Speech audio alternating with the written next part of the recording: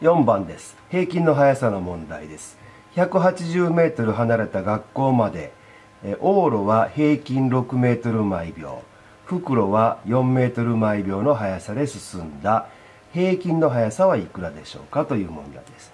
平均の速さは変異を時間で割って求めます、えー、変異は往復ですから360メートルの道のりになります、かかった時間は、往路が6メートル毎秒ですから往路の時間は180メートルを6で割って30 30秒。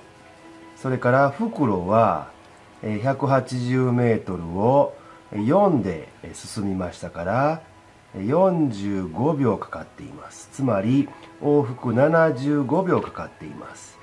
これを計算してください。4.8メートル毎秒となります。